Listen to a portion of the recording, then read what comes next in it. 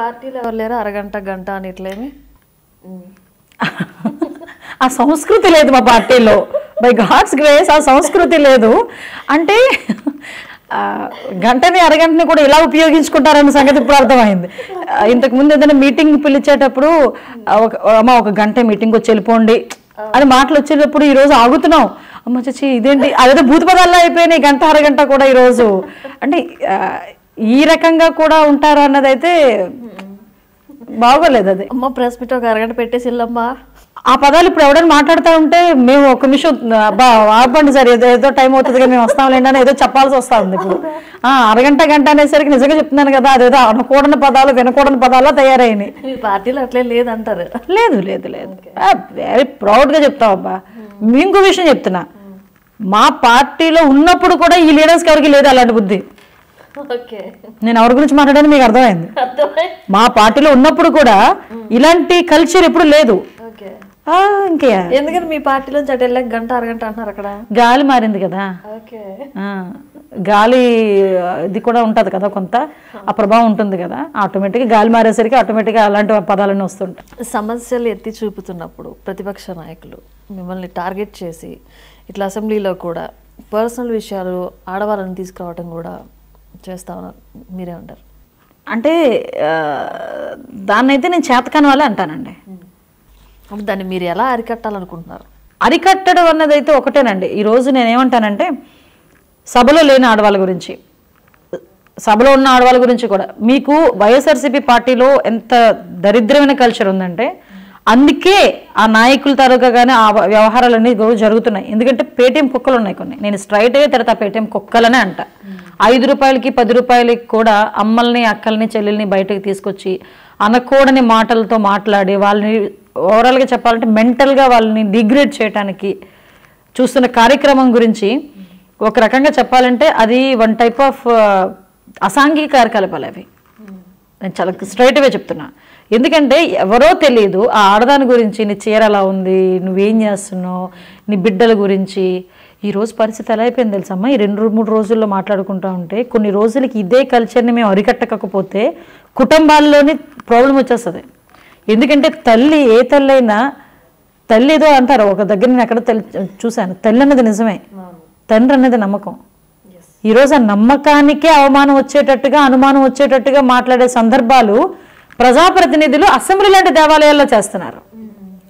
మరి పరిస్థితి వీడియో వచ్చింది కదా కేసీ చేకూరి గారు అని చెప్పేసి ఆయన చేశారు వీడియో. నిజంగా ఆ రోజు ఒక్క నిమిషం నాకు కదలికి వచ్చింది నిజమే కదా? అమ్మ అయితేనే కడుపున పుట్టిన అమ్మ కాబట్టి అదొక చూపి తెలుస్తుంది తండ్రి ఎవరు అనేది తెలుస్తుంది.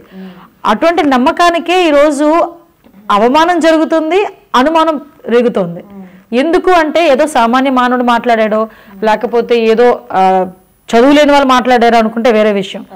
ఐదు కోట్ల మంది ప్రజల చేత ఎన్నుకోబడిన ప్రజాప్రతినిధులు అసెంబ్లీ లాంటి దేవాలయాల్లో ఎన్టీ రామారావు గారు కూతురు కూతుర్ని అవమానించే పరిస్థితి వచ్చిందంటే what about common people common women? వీళ్ళంటి మహిళలు గౌరవించేది? కానీ వీళ్ళంటే ఏంటంటే చంద్రబాబు నాయుడు గారు కుప్పంలో ఓడిపోయినందుకు దాన్ని ఇలా సానుభూతి పరంగా ఇలా ఏడ్చి ఇలా చేయటం వల్ల ప్రజల్లో ఒక సానుభూతి తీసుకురావడానికి ఇలా చేస్తున్నాడు. ఒకటే క్వశ్చన్ ఏమనుకోదు దయచేసి. కెమెరా కూడా చెప్తున్నా. ఎలక్షన్ ముందు షర్మిలా గారితో ఒక కేసు పెట్టించారు మీకు గుర్తుందా? హైదరాబాద్లో నా గురించి సోషల్ మీడియాలో చాలా తీవ్రంగా మాట్లాడుతున్నారు ప్రభాస్ గురించి నా గురించి అని.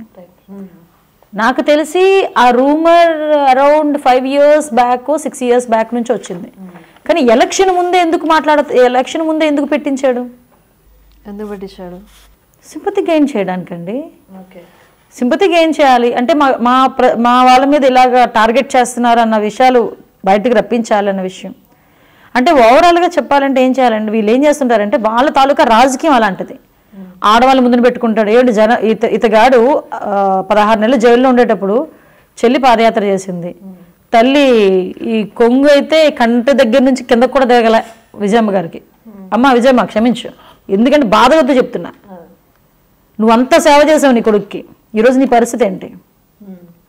నీ కూతురు చేత అంత సేవ చేయించావు ఈరోజు నీ కూతురు పరిస్థితి ఏంటి? తెలంగాణలో ఆవిడ నడుస్తూ ఉంటేనట ఈ తెలంగాణ సీఎం కేసీఆర్ పక్కనకి వెళ్ళి కూర్చొని మంతనాలు చేస్తాడంట. అంటే ఇంత దౌర్భాగ్యమైన రాజకీయాల మధ్యలో ఈరోజు ఉన్నాం మనం.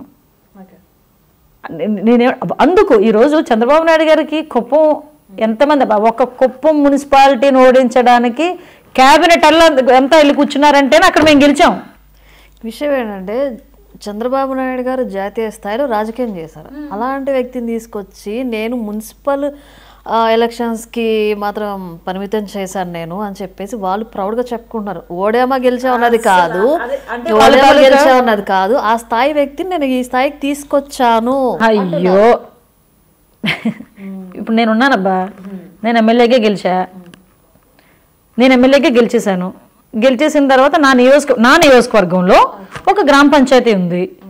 గ్రామ పంచాయతీ వైఎస్ఆర్సీపీ వాళ్ళు గెలిచారు. నేను ఓడిపోయినట్ట? చెప్పండి. ఆయనకి మున్సిపాలిటీ కుప్పం అంటే మున్సిపాలిటీ ఒకటే కాదు. కుప్పంతో కుప్పంలో మున్సిపాలిటీతో పాటు ఆయనకి డిఫరెంట్ డిఫరెంట్ మండల్స్ ఉన్నాయి గ్రామాలు ఉన్నాయి అన్నీ ఉన్నాయి. ఇదేదో కుప్పంలో మున్సిపాలిటీని ఓడించేసి చంద్రబాబు నాయుడు గారిని ఓడించేసావు అన్నట్టు వీళ్ళు ఫీల్ అవుతా ఉంటే పాపం వీళ్ళ మానసిక పరిస్థితి ఎదుగుదల ఇంకా ఎదగలే ఎక్కడ అక్కడే ఉండిపోయారు ఇంకా